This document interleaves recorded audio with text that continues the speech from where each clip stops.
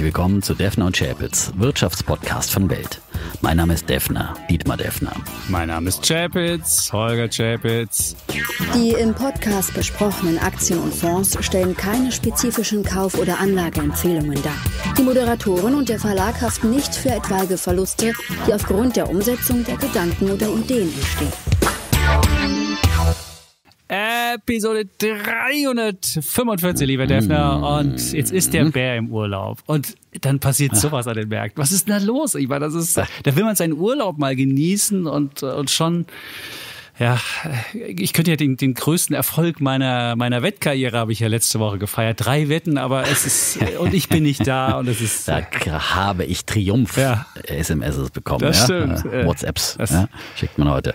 Äh, äh, das hat er sich nicht nehmen lassen, der Bär aus dem Urlaub hier auf die Märkte zu gucken. Und äh, also welche Wetten hast du? Eine Glotzkast-Wette hast du gewonnen. Das ist gut. also die Wochenwetten, Die machen wir sagen, sowieso das nicht. ist wirklich. die Klotzcast-Wetten, aber die, die werden ja nicht Die zählen mitgezählt. ja nicht in ja unsere mit. Wettbilanz ein, aber die hast du auch Ja. gewonnen. Äh, aber da lag ich zurzeit immer, immer schlecht. Ich hatte ja ein paar Mal auf Korrektur nochmal getippt, dann äh, wollte der DAX nicht weiter korrigieren, dann ging er nach oben und wenn ich dann mal wieder ins Bullenlager gewechselt bin, auf Wochenbasis zumindest, also der langfristige Trend ist ja sowieso für mich nach oben, aber diese wö- wöchentlichen ähm, Veränderungen sind ja immer auch ja, schwer zu prognostizieren. Na gut, da lag ich wieder daneben äh, und ziemlich daneben sogar. Ne? Und die, und dann hatten wir die Sommerkorrektur, die haben wir, die haben wir rechtzeitig ausgerufen. Wir haben sie wirklich rechtzeitig ausgerufen. Also wer bei uns jetzt zugehört hat, das war ja am äh, 7.7., nee, am 8.7. haben wir sie ausgerufen. Da ging es ja um die Frage, gibt's jetzt die große, die gibt's ja eine kleine Sommerkorrektur, die äh, 10% oder mehr vom Nasdaq 100 abschreddert. Und dann ging es nochmal zwei Tage hoch und dann kam ja dieser berühmte Turnaround äh, an, an dem äh, Tag, als die Inflationszahlen am 11. kam. Also es gab nochmal äh, zwei Tage hoch und dann ging es runter. Und die Wette habe ich gewonnen. Und die zweite Wette, es war, es gab gruselige ähm, Wirtschaftszahlen aus Deutschland. Äh, zweites Quartal minus 0,1. Das war natürlich auch nicht so besonders gut. Und da hatten wir ja die Wette, Ja. dass äh, du gesagt hast, hey, das wird die, der große Turnaround Deutschlands. Und naja, aber das hat natürlich, diese Deutschland-Geschichte hat natürlich überhaupt nichts mit den Märkten zu tun. Das ist eine ganz, ganz eigene Geschichte. Und die Nee. müssen wir natürlich gleich am Anfang Also besprechen. das, was an den Märkten jetzt passiert ist, vor allem dann nach, an diesem schwarzen Montag, das Ja. war ja letzte Woche, wo es schon nach unten ging, 4% im DAX alleine verloren und ähm, dann in dieser Montag, äh, ein wirklicher schwarzer Montag, vor allem in Japan. Was da passiert ist, das ist unser Thema heute, das wollen wir ganz ausführlich besprechen und äh, mit all den Einschätzungen zu den Gründen, zu dem, was man jetzt tun sollte, ganz ausführlich äh, werden wir darauf eingehen in unserem Thema. Und das machen wir auch gleich am Anfang. Bulle und Bär wird dann nach hinten geschoben. Ganz genau. Aufgrund der Aktualität. Und ne? dann wirst- und aber ich wollte auch Ja. noch eins sagen, dass unser Gast letzte Woche mal dein Vertreter quasi, ähm, Reza Darius Montaser, der auch schon ziemlich gut lag mit seinen doch eher pessimistischen Grundeinschätzungen, auch zur Konjunktur in, den USA. Das war ja eine seiner Argumentationen, weshalb es zum Beispiel auch im Russell 2000 nach unten gehen könnte, ähm, weil er gesagt hat, äh, die, die US-Konjunktur, äh, die ist nicht äh, so stabil, wie sie von vielen gehalten wird. Und, ähm, und der hat ja auch äh, sehr propagiert, auf Anleihen zu setzen. Also wer letzte Woche in Anleihen investiert hat, ähm, der hat auf jeden Fall einen guten Schnitt gemacht. Das war so eigentlich die einzige Assetklasse, die, die gelaufen ist, äh, weil ja auch ähm, Gold abgeschmiert ist, Silber abgeschmiert ist, äh, zeitweise auf jeden Fall. Und äh, Bitcoin sowieso und äh, vieles mehr, die Aktien äh, sowieso. Naja, gut. Also Ja. alles aber der Reihe nach. Stimmt. Gleich Vielleicht sagen wir erstmal, was passiert mal. ist. Wir haben sieben Billionen an Market Cap zerschreddert, also sieben Billionen an, also wenn man mal die gesamten Wert aller Aktien in der Welt nimmt, haben wir halt sieben, sieben Billionen Dollar weg. Das ist ungefähr das Bruttoinlandsprodukt von Deutschland. Das ungefähr vier plus nochmal Frankreich. Also diese beiden Sachen sind weggekommen. Und wir haben natürlich ein paar Gewissheiten, haben wir natürlich auch äh, aufgeräumt bekommen, dass die US-Konjunktur keine Rezession mehr erlebt. Da hatten wir schon die Idee, es gibt ein No-Landing, dass die japanische Notenbank nie die Leitzinsen erhöhen würde.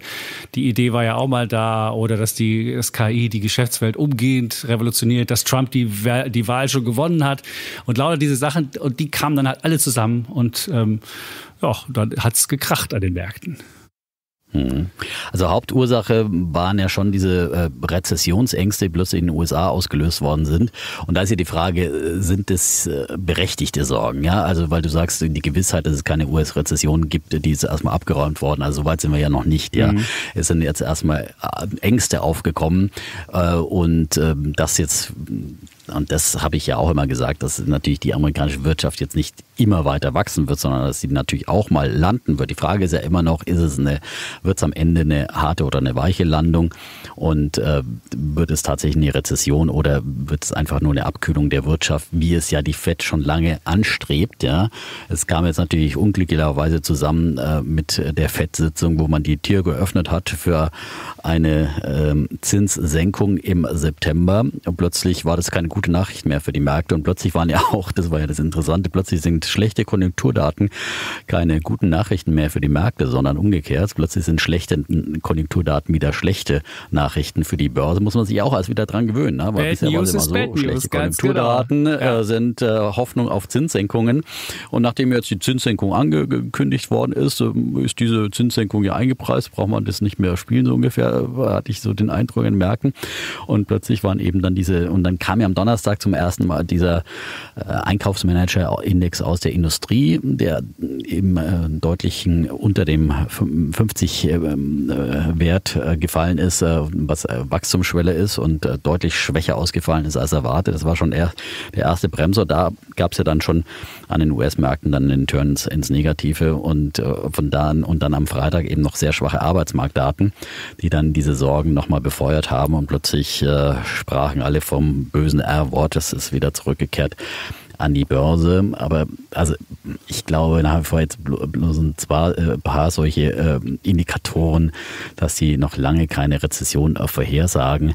Und ähm, wir haben ja zum Beispiel dann auch gestern den Einkaufsmanager-Index aus dem Dienstleistungssektor bekommen, der angestiegen ist, ähm, über der Wachstumsschwelle auch wieder weiter lag. Und ähm, also ähm, vielleicht gibt es dann in der Industrie äh, schwächere Tendenzen, aber in anderen Segmenten wieder stärkere Tendenzen. Also ich glaube äh, nach wie vor, dass wir irgendwie in eine weiche Landung hinkriegen. Und dann kommt ja auch eben die Notenbank mit Zinssenkungen. Und das kann ja auch heißen, dass sie dann ähm, möglicherweise gleich mal einen, großen Zinsschritt im September macht. Muss ja nicht erstmal mit einem kleinen Schritt anfangen. Also bei äh, 5,5 Prozent Zinsen kann man auch mal ein halbes Prozent, äh, einen halben Prozentpunkt die Zinsen senken. Und ähm, das würde ja dann auch wieder der Konjunktur auf jeden Fall helfen und äh, positive Impulse verleihen. Also von daher, also diese Rezession in den USA, die äh, sehe ich noch nicht, aber die Märkte haben sie jetzt eben als Furchtbild vor Augen. Ja, es gibt, es gibt zwei Indikatoren, die äh, dafür sprechen, dass es eine Rezession gibt. Es gibt die berühmte SAM-Rule, die ist nach Claudia Sam, das ist eine ehemalige ähm, FED-Ökonomin, die hat das mal aufgestellt, die hat gesagt, wenn die ähm, Arbeitslosenrate über ein bestimmtes Niveau vom Durchschnitt des letzten Tief, äh, von den letzten zwölf Monaten ein Tief äh, von, von drei, drei Monatsdurchschnitt im Tiefpunkt ist, nämlich 0,5 Prozentpunkte höher, dann haben wir halt, sind wir halt eine Rezession, weil der, die meisten Abschwünge gehen halt über die Ausgaben der Konsumenten, also die Verbraucher. Und da die ohnehin schon stretched waren, und man sah das ja auch bei McDonalds-Zahlen oder bei anderen Zahlen, dass halt einfach die Verbraucher jetzt sich schon zurückgehalten haben. Also über diesen Mechanismus könnte man halt dann in die Rezession rutschen. Das ist die eine Regel. Und das zweite ist die Zinsstrukturkurve. Die ist nicht mehr invertiert. Also es war ja ganz lange Zeit so, dass die Zweijährige über der Zehnjährigen lag. Und normalerweise ist ja genau umgekehrt, dass immer die langfristigen Zinsen über den kurzfristigen sind, weil langfristig mehr Risiken, mehr Inflationsgefahren und so weiter und so fort. Und deswegen wird man normalerweise, wenn man langfristig sein Geld anlegt, an den, an den ähm, Anleihemärkten auch mit höheren Zinsen belohnt.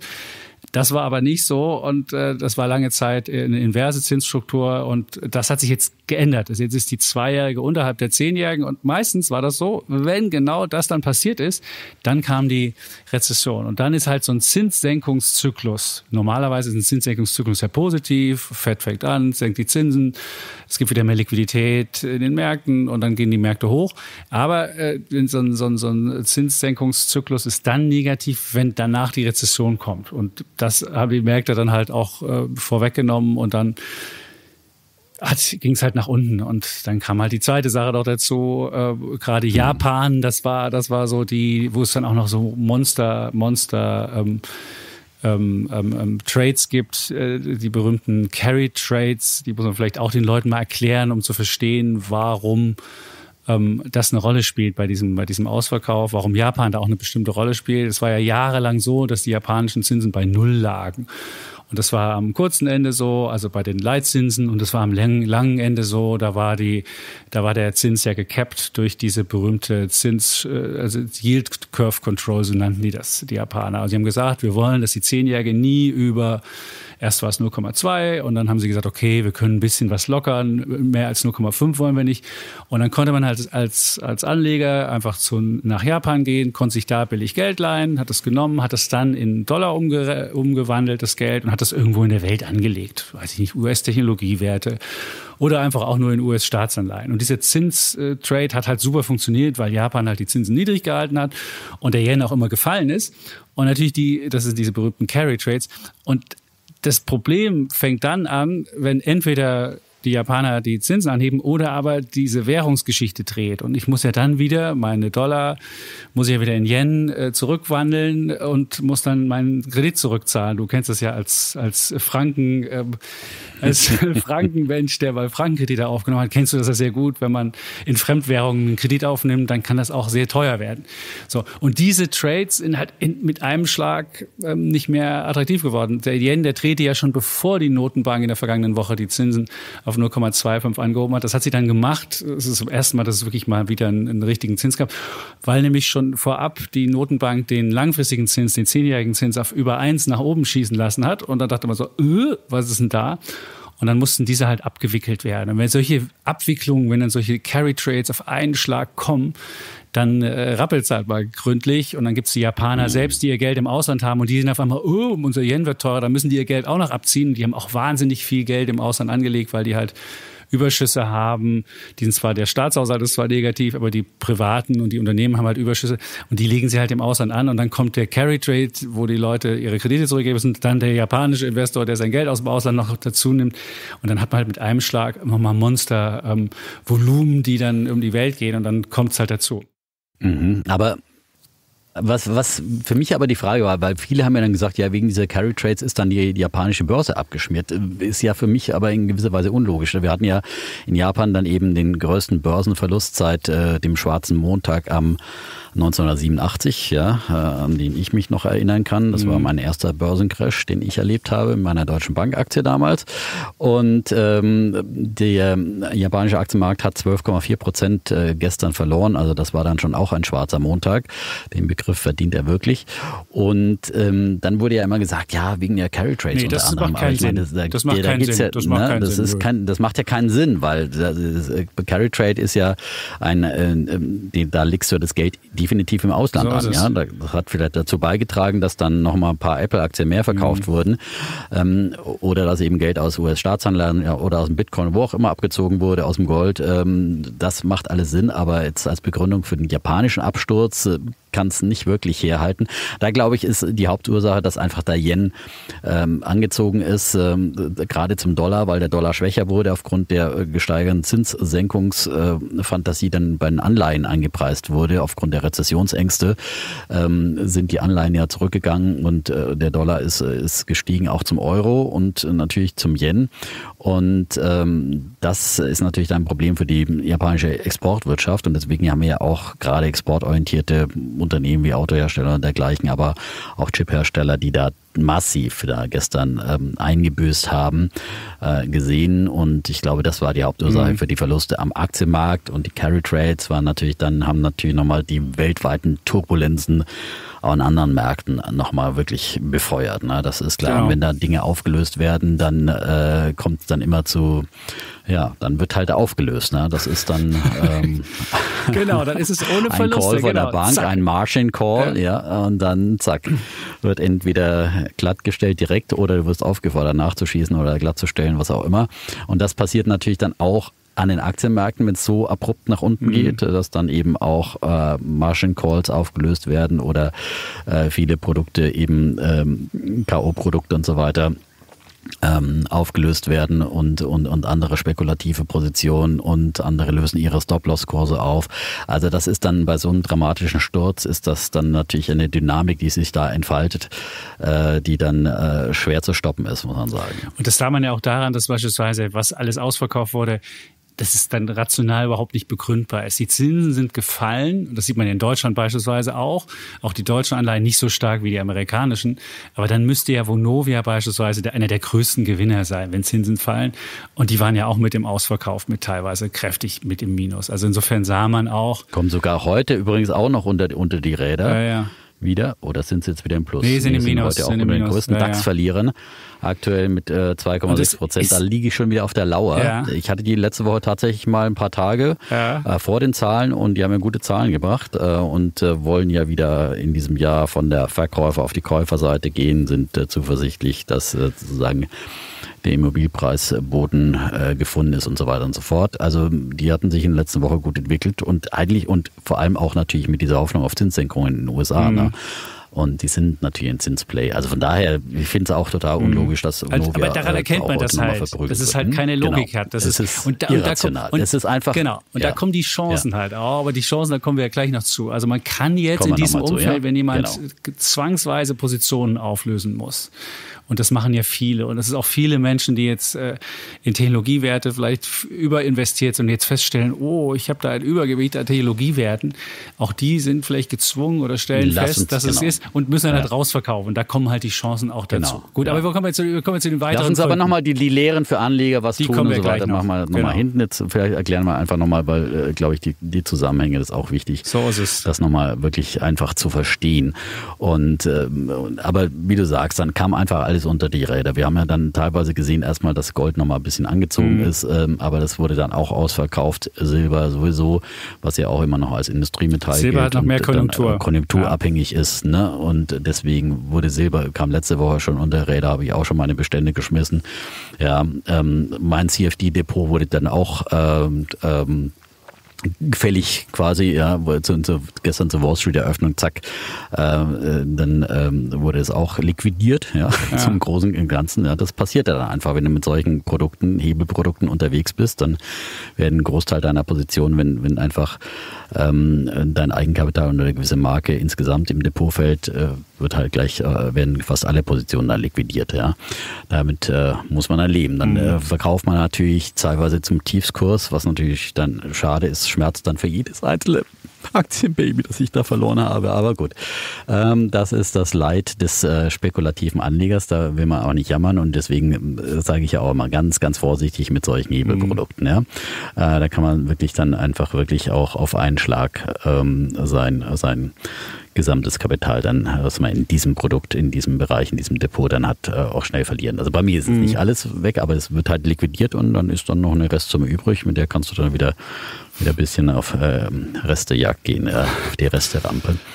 Das ist gut, genau. Aber wir kommen noch zu den anderen Gründen, die wir noch haben. Also die eine Sache, genau. du hast ja, äh, wer, wer, mit, wer mit, mit Hebel spekuliert, da kommen wir gleich, das, das können wir gleich noch Menschen erklären, dass es halt das ist halt in solchen, in solchen, äh, in so einem Umfeld ist man dann halt ja besonders gekniffen, sagen wir mal so. Aber was noch, was, was noch zur. Aber es trägt mit dazu bei. Ich wollte es ja nur ja, deswegen erzählen, dass es dazu beiträgt in so einer Abwärtsdynamik, dass es dann natürlich zu diesen massiven Ausverkauf Ausverkäufen kommt. Genau. Ja, weil dann wird der Defner ja, liquidiert. Und das ist nicht nur der Defner, sondern ganz ja, viele. Genau. Wenn der Defner liquidiert wird, dann zack, jetzt dann gleich mal, obwohl ich in Japan nicht investiert war. Ja. Ja, das, aber das haben viele. Und, nee? Japan hat ja auch das Minus gehabt, aber weil Japan einer der gelobten Märkte war und da waren viele ah, war ja so. Und alle, die halt wirklich. Ja, und zum ersten Mal wieder ja, die 40.000. Er hat ja zum ersten Mal in mhm. diesem Jahr die 40.000 wieder geschafft, äh, seit dem Börsenkrach damals, Ende der, Ende der 80er. 80er schon bitter, ne? Äh, und äh, das hat ja lange gedauert, eben äh, diese fast vier Jahrzehnte. Und dann fällt man jetzt wieder auf einen Schlag dann so stark wie mhm. damals 1987. Aber haben ja heute auch wieder aufgeholt. 10,2 Prozent mhm. an diesem Dienstag. Dann schön wieder das Plus im Nikkei. Also es ist eine, wichtige, eine, eine wilde Achterbahnfahrt, die wir da sehen. Genau. Aber du wolltest noch einen anderen Grund nennen. Wir wollen noch einen anderen Grund, klar. Wir haben natürlich die, die wahnsinnig hohe Konzentration von Technologiewerten gehabt. Und da war die Welt halt für Perfektion gepreist. Und alle haben gedacht, so jetzt kommen die Zahlen und jetzt müssen die auch wieder beweisen. Und im letzten Quartal war es ja so, also die, die Zahlen fürs erste Quartal, da war ja das Überwiegende wirklich mit sehr, sehr positiven Überraschungen. Und jetzt äh, waren die Überraschungen eher auf der negativen Seite, sagen wir es mal so, oder eben längst nicht mehr so positiv. Und dann gab es halt beispielsweise Microsoft, die Cloud-Sparte hatte nicht mehr die Wachstumszahlen, die man erhofft hatte. Bei Amazon war der Umsatz nicht mehr so stark, wie man sich erhofft hat. Und bei Intel, gut, da wollen wir gar nicht drüber reden, da war gar nichts, wie es sein sollte. Und dann, dann bricht das halt alles weg. Ja, Intel das, war schon wirklich der Hammer. Ja. Das war schon am Freitag natürlich ja. schon noch mal ein weiterer Sargnagel, muss man wirklich noch mal ganz, ganz explizit sagen, ähm, dass die es einfach nicht auf die Reihe kriegen, irgendwie äh, von diesem KI-Chip-Boom mhm. oder vom Chip-Boom insgesamt irgendwie zu profitieren und stattdessen jetzt hier ein wirklich ein äh, Kahlschlag ja. machen, äh, äh. jede sechste Stelle äh, kürzen. Und wir dachten doch, das ist eine Boombranche mhm. und wir dachten doch, die wollen in Magdeburg eine Chipfabrik bauen und geben denen Milliarden dafür. Die ist ja jetzt quasi auch ein bisschen in Frage gestellt. Da gibt es noch keine offiziellen Äußerungen, aber man fragt sich natürlich schon, wenn die auch gerade an Investitionen Milliarden sparen wollen, ähm, wird das noch was hm. mit der Chipfabrik in Deutschland, ja? Und äh, kriegt da Habeck seine Milliardensubvention dann auch los oder muss man die irgendwie anders verwenden dann plötzlich? Ja, das ist, das ist wahr. Also das, das kam dann halt noch dazu und dann gibt's halt auch noch so, wie weiß ich nicht, das Google-Kartellverfahren kommt dann dazu. Es kommt dann halt, dann gibt's halt, dann gab's bei Nvidia Verzögerungen bei neuen Chips hm. und lauter so kleine Nachrichten, die normalerweise vielleicht ja, mal und dann noch, was Ausverkauf machen, die, die, die ja. führen dann halt ja, zu so einem richtigen Ding. Jetzt kommst du noch zum Buffett. Und dann auch, auch noch Meister Warren Buffett, äh, der hatte schon auch seinen Anteil daran. Äh, mhm. Ich meine, er hat halt mal wieder ein mega Timing bewiesen, muss man sagen. Hat im zweiten Quartal die Hälfte seiner riesigen Apple-Position verkauft. Ne? Also das ist, dass es überhaupt zum Markt schon gegangen ist und die Apple-Aktie trotzdem auf neue Allzeithochs gestiegen mhm. ist, äh, ist ja fast ein bisschen verwunderlich. Aber er hat es tatsächlich getan und natürlich fragt man sich jetzt, hohoho, wie in der Bildzeitung stand, was weiß Buffett, was wir nicht wissen. Ja, ähm, warum hat er so viele Apple-Aktien losgeschlagen. Wir wissen es nicht, wir können nur spekulieren. Ich glaube, es hat auch ein bisschen mit China zu tun, weil er hat ähm, ja zuletzt auch seinen BYD-Anteil fast komplett verkauft, schon jetzt über die letzten, ich glaube im letzten Jahr schon begonnen, äh, unter 5 Prozent mhm. mittlerweile gedrückt. Ähm, und Apple ist ja nun auch sehr abhängig von China in der Lieferkette, von Foxconn vor allem, seinem Zulieferer, der hauptsächlich in China produziert. Ähm, und vielleicht hat er einfach da wirklich Sorgen, dass es hier zu eben einem geopolitischen Konflikt mit Taiwan oder was immer kommen könnte. Oder eben zu höheren Zöllen unter Trump und hier bei einem Handelskrieg, der einfach da auch Apple trifft. Wäre jetzt eine Vermutung, dass es sich da so ein bisschen resistenter aufstellen will ähm, und resilienter. Mhm. Und einfach, er hatte ja so einen großen, ich weiß nicht, Apple war ja zeitweise fast die Hälfte seines Aktienportfolios, das er hatte, neben seinen anderen Unternehmen. Ähm, und ähm, dass er das zumindest reduzieren wollte. Kann ein Grund sein, aber er hat natürlich jetzt einen riesigen Cashberg. Ne? 277 Milliarden, das ist ein Drittel des der, der Market Cap von Berkshire Hathaway hat er jetzt als Cash rumliegen. Und das wird natürlich, wenn die Zinsen sinken, auch nicht unbedingt äh, attraktiver dann, die Sache da zu haben. Aber ich weiß halt nicht, ob der Buffett wirklich so viel mehr weiß oder ob er einfach sagt, ich mag keine Klumpen. Das ist ja ein großer Diversifizierungsfreund und der soll ja angeblich auch Microsoft-Chef Bill Gates mal getroffen haben und ihm gesagt haben, weißt du, äh, Bill, du hast so ein bisschen ein Microsoft-Klumpenrisiko und deswegen hat ja Bill Gates dann auch äh, diversifiziert, was ihm am Ende jetzt natürlich negativ war, weil Microsoft viel besser gelaufen ist als all die anderen Sachen, in die er diversifiziert hat. Und er wäre jetzt viel reicher, er wäre der reichste Mensch der Welt, wenn er denn äh, die Position behalten hätte. Hm. Aber vielleicht ist es einfach nur Diversifikation. Ja gut, aber lange hat es ihn ja nicht gestört. Haben ihn ja diese, der hat ihn dieser Klumpen nicht gestört, hat er jetzt wirklich lange gehabt. Diese, ja gut, weil Apple so stark gestiegen ist im Vergleich zu den anderen. Wenn du mal guckst, der hat ja, er hat ja irgendwie Bank of America, er hat Coca-Cola, er hat Moody's, er hat, und die sind ja alle längst nicht so stark gestiegen wie Apple. Und das, die Apple ist natürlich, im letzten Quartal hat er schon ein bisschen was ähm, verkleinert und jetzt hat er nochmal richtig stark verkleinert. Oder er sieht halt, er sieht halt äh, große Chancen auf, äh, auf den, den Markt zukommen und denkt sich so, wo schaffe ich Liquidität? Auch das kann ja ein Grund sein, dass du sagst, ey, ich will mal nochmal was richtig Großes machen, was wirklich vielleicht mein Lebenswerk nochmal krönt, bevor ich sterbe und nochmal was richtig, weiß ich nicht, was er da im Blick hat. Und dann mhm. denkt sich so, was, was, was verkaufe ich dann? Dann nimmst du natürlich das, was am besten gelaufen ist, wo du die größten Gewinn drauf hast und wo auch ein gewisses äh, Risiko drin ist. Also man, kann nicht in den Kopf von dem Mann aber gucken. Bisher hat er schon immer gesagt, er weiß nicht, was er mit seinem Geld anfangen ja, ja. soll, weil er natürlich mit so großen Beträgen kann man ja auch nicht einfach irgendwas kaufen, irgendeine Aktie, sondern mhm. es mhm. müssen ja dann wirklich, entweder du kaufst wirklich ganze äh, Unternehmen, da hat er ja schon immer gesagt, dass es äh, quasi äh, keine Kaufgelegenheit Angelegenheit findet, weil er natürlich auch äh, genau auf Bewertungen achtet. Mhm. Also möglicherweise rechnet er schon auch jetzt mit einem größeren Crash und einem größeren Einbruch. Und da war er dann immer zur Stelle. Wir erinnern uns an die Finanzkrise, wo er dann wirklich äh, auf Schnäppchenjagd gegangen ist und irgendwie auch den Banken ausgeholfen hat mit Liquidität zu seinen Bedingungen. Das ja. stimmt, aber das gab es ja nicht mehr, seitdem, die, seitdem die Notenbank eingesprungen ist. Und das hat man bei Corona ja gesehen, da gab es auch einen Crash. Und da war die Notenbank zur Stelle und da konnte er überhaupt nicht mehr sein Geld einsetzen. Insofern, ich weiß es nicht. Gut, aber er könnte natürlich günstige Aktien einsammeln dann, ne? ja. wenn es zu einem wirklichen Absturz kommt Stimmt. und also die Märkte für überbewertet hält. Das hat er ja schon immer wieder auch wieder, äh, auch bei der Hauptversammlung schon so grund, äh, grund getan. Ähm, ja, aber wie gesagt, kann nur spekulieren. Und die Frage ist natürlich, die viele stellen, soll ich jetzt meine Apple-Aktie auch verkaufen? Oder ist das jetzt, gestern hat sie ja zeitweise 10% verloren, mhm. ähm, zwischenzeitlich dann am Ende nur so 5% in etwa. Was würdest du sagen? Ich, ich wenn, wenn ich jetzt was ja, was ja, was einen die, die, die Krise ja lehrt, ist ja, ich gucke mein Portfolio an und frage mich, ist das schön ausbalanciert? Und deswegen bin ich auch so locker und kann mir sagen, so, ja, meins ist okay, ich habe da kein Problem mit. Und wenn ich jetzt ein Apple-Übergewicht hätte, ein wahnsinniges, und weil, weil mein, mein Portfolio nur aus Apple bestünde, würde ich mir da auch Gedanken machen. Aber hätte ich, hab, hätte ich jetzt, weiß ich nicht, ein normales Portfolio und finde aber Apple noch geil, dann würde ich die trotzdem, weiß ich nicht, behalten. Aber wenn es natürlich jetzt ein Klumpenrisiko gibt, dann hätte ich da vielleicht auch ja, Handlungsbedarf. Das ist, das, das ist die Sache. Ja, ja. Und ich habe übrigens, ich habe mir mal den Buffett-Indikator angeguckt. Der Buffett-Indikator ist ja mhm. immer, wenn die Market Cap über die über, das, über die Wirtschaftsleistung des jeweiligen Landes geht. Und wenn man das mal sich anguckt, den Buffett-Indikator für Amerika, dann liegt er bei 203. Was daran liegt natürlich, dass amerikanische Aktien so wahnsinnig teuer sind und Amerika das gelobte Land für Aktien ist und deswegen natürlich immer schon äh, die, die Market Cap leicht über dem, über dem äh, Bruttoinlandsprodukt liegt. Aber es ist jetzt mittlerweile auf 203 Prozent gestiegen. Und das war aber auch schon 2021 vor dem letzten Einbruch war das sogar auf 250 und ist jetzt wieder leicht gefallen. Wenn man jetzt mal den weltweiten Buffett-Indikator anguckt, man kann ja auch sagen, ich nehme die weltweite Börsenmarktkapitalisierung und setze das mal ins Verhältnis zum ähm, Bruttoinlandsprodukt, dann hätte man da den Buffett-Indikator bei, und jetzt guck mal, was hier, was hier der, das wunderbare ich habe die nämlich mal ausgerechnet, da sind wir bei 108 nur noch. Also es ist deutlich gefallen wieder, die, die, äh, weil, weil wir eben jetzt sieben Billionen auch weggeschreddert haben und ist ja klar, es wird ja nicht äh, Wirtschaftsleistung mit weggeschreddert, sondern das kommt natürlich der Bewertung dann zugute. Und wenn man sagt bei 108, dann ist der Gesamtmarkt, wenn man es jetzt auf weltweit anguckt, nicht mehr so wahnsinnig überbewertet. Und das war 2021 beispielsweise bei 140. Und da sieht man, dass mhm. ähm, natürlich die, die, die, die, die, also das, das, das Abwärtspotenzial nicht mehr so groß ist. Und das muss ja auch Buffett mhm. sehen, diese Zahlen. Also insofern, ja. ähm, wir sind jetzt nicht, Na, wir sind nicht, wir sind nicht brutal überbewertet, wir sind überbewertet mhm. und es gibt natürlich in einigen, in einigen Regionen des Marktes Überbewertung, aber ich finde, wenn man den Gesamtmarkt anguckt, halte ich das jetzt nicht für brutal überbewertet, sondern einfach nur stolz bewertet, würde ich es mal nennen.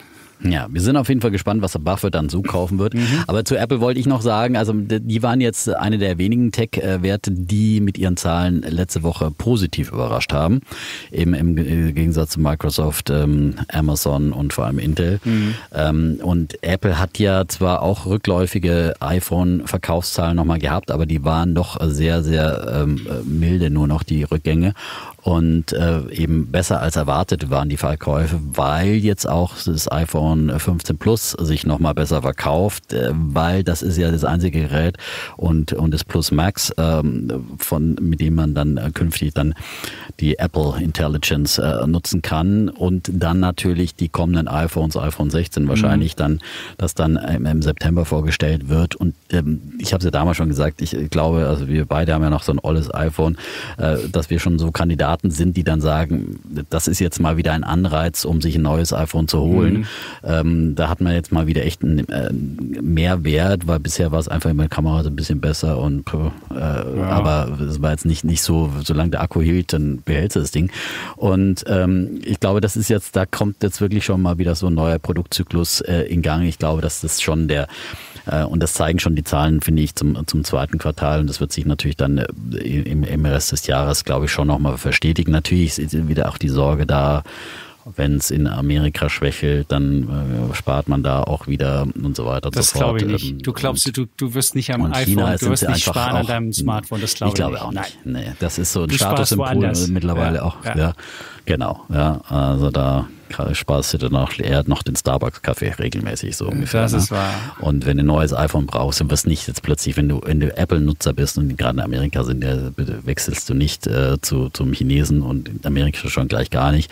Und in China ist es natürlich schwieriger, da sind sie ja mhm. nicht, mehr, nicht mehr weiter, äh, sind sie gerade nur noch in den Top 5, aber äh, haben sie die Chinesen natürlich ganz schön abgehängt. Mm, aber im, im, im Rest der westlichen Welt, glaube ich, da ist schon einfach das, das iPhone noch. Und wer einfach Apple-Jünger ist, äh, das haben wir ja auch mal gelernt, dass äh, Buffett damals gesagt hat, das sind extrem klebrige Produkte. Also wenn du einmal äh, drin bist und da deine Cloud hast und deine Fotos und deine Apple-Musik, da kannst du ja eigentlich gar nicht mehr, mehr weg. Also von daher wirst du dir auch immer wieder mal ein neues iPhone holen mhm. und die Dienste auch schön fleißig weiter bezahlen. Stimmt. Also ich glaube, da braucht man sich um, um die Apple-Aktie äh, keine großen Sorgen machen. Zumindest die iPads ja sich auch sogar wieder verkaufen. Also das ist bloß nochmal ein kleiner Exkurs zu Apple, weil wir mhm. gerade bei Buffett waren, aber wir wollen natürlich nochmal zum großen ganzen Bild äh, weiterkommen. Also Big Tech Schwäche war schon ein Grund mit dafür und eben dass KI-Investitionen und Ausgaben schon jetzt mehr äh, hinterfragt werden und äh, Ausgaben noch nicht. Also die Ausgaben waren ja noch Microsoft und, und Google haben ja in ihrem Zahlenreigen ja nochmal gesagt, dass sie die CapEx, also die, die Investitionen insbesondere auch in Rechenzentren und so weiter ausbauen wollen. Und ähm, dafür, da glaube ich schon, äh, vielleicht, weiß ich nicht, wer jetzt, vielleicht machen andere, müssen ihre, ihre Ausgaben zurückfahren. Aber das, das war noch nicht die Sache. Die Frage war nur, dass dann die, die, die, die Leute gefragt haben, wird sich das mal auszahlen und werden überhaupt die Leute dann so viele, ja, ja, so das viele Cloud das meine ich. Aber, aber die Ausgaben sind genau, noch, von den noch Investoren okay. hinterfragt. Ja, ja. genau. Ist, äh, von den Investoren hinterfragt.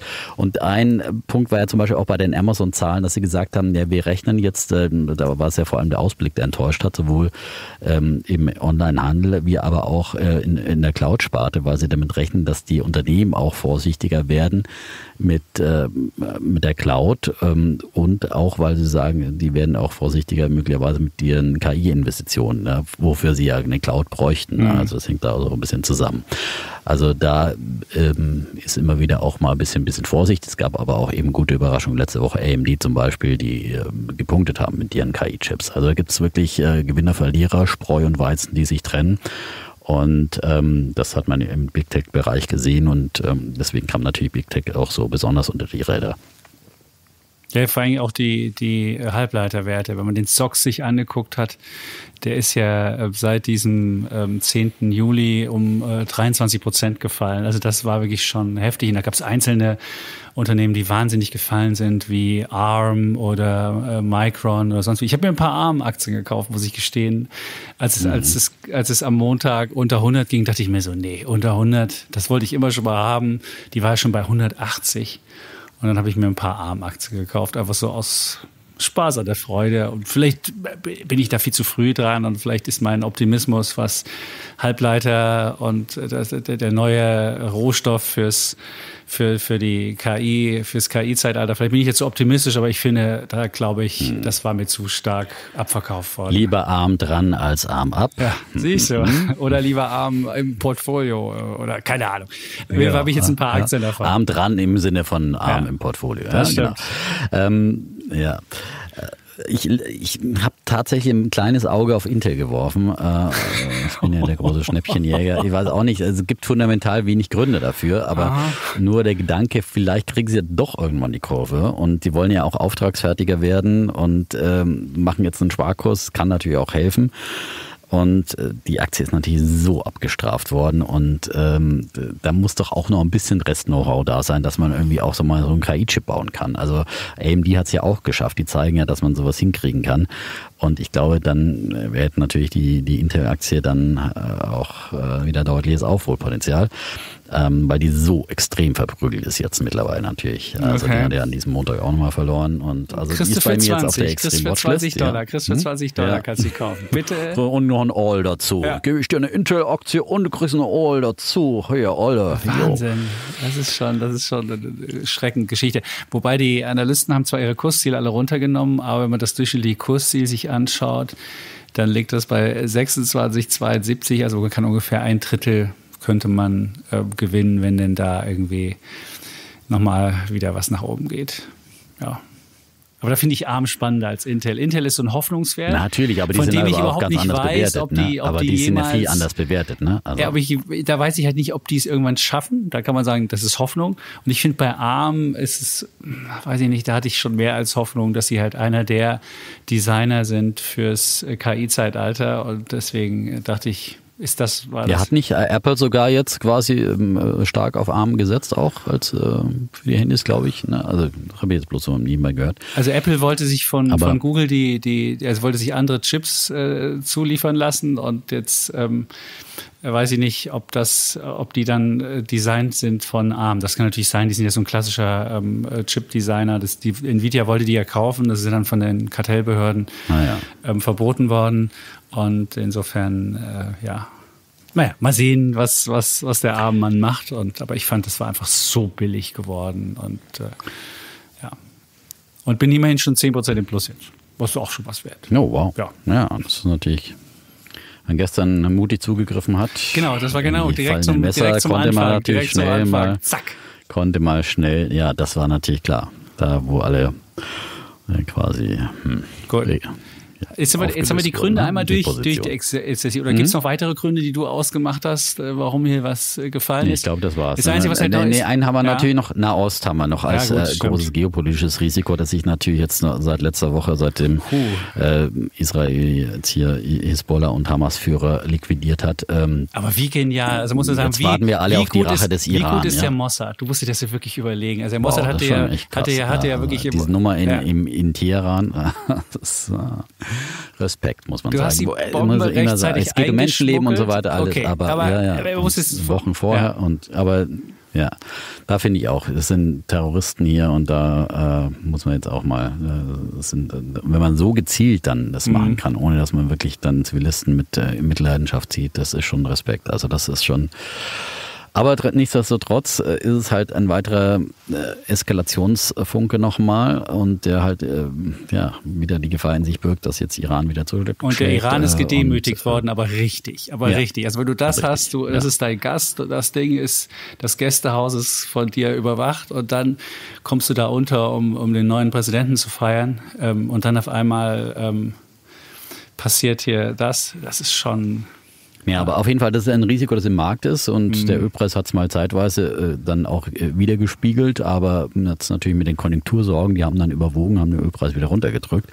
Ähm, wenn man sich dagegen absichern will, kann man sicherlich so ein bisschen auf, auf den Ölpreis setzen. Ähm, aber wir haben ja auch gesehen, dass dann, ähm, wann war es im April, der erste Angriff des Iran, damals dieser Großangriff auf Israel, der dann doch äh, abgefangen ist und glimpflich ausgegangen ist, ähm, nicht zu einer weiteren Eskalation damals geführt hat und auch dann die Märkte wieder ganz schnell beruhigt hat kann natürlich diesmal auch wieder passieren, weil äh, auch die Vereinigten Staaten natürlich sehr beruhigend wirken und äh, an einem ganz großen Konflikt im Nahen Osten äh, keiner Interesse haben kann, auch nicht, auch nicht der Iran.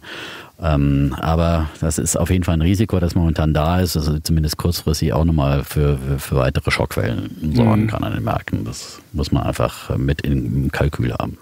Und dann haben wir halt insgesamt, äh, das vielleicht muss man da auch noch so ein bisschen mal Portfolio-Theorie erklären. Also nehmen wir jetzt mal an, ähm, jahrelang war ja die Volatilität wahnsinnig niedrig in den Märkten. Und wenn ich jetzt ein, wenn ich jetzt ein großer Portfolio-Manager bin, dann ich, muss ich ja mein Risiko managen. Und je geringer die Volatilität ist, Volatilität heißt immer Risiko. Und wenn ich jetzt mein Modell nach Value at Risk manage und sage, wie hoch ist das Risiko, dann muss ich mal gucken, wie hoch ist die Volatilität. Und dann kann ich halt meinen Aktienanteil immer stärker erhöhen. So. Und wenn dann auf einmal die Volatilität nach oben springt und das langfristig macht, jetzt ist es natürlich kurzfristig nach oben gestiegen, man weiß jetzt nicht, ob das jetzt eine langfristige Episode, längerfristige Episode mit höherer Volatilität ist, dann habe ich halt nicht mehr so ein hohes Risikobudget und dann muss ich verkaufen, egal ob die Aktien schon gefallen sind oder nicht.